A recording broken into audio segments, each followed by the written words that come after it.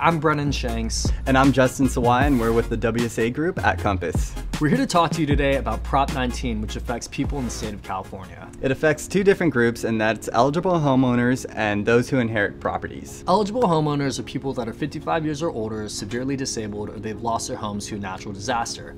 These homeowners may now transfer their property tax basis anywhere in the state of California, whereas previously they could only do it within the same county. They can also do this three times within their life instead of one, and they can transfer the tax basis to properties of greater or the same market value. Prop 19 also affects people that inherit properties. Prior to Prop 19, those who inherited a property did not have to pay tax increase on their property regardless of the value. Now with Prop 19 into effect, they will have to pay an increase in their property tax unless it's used as their primary residence. Thank you so much. Let us know if you have any questions. Thank you.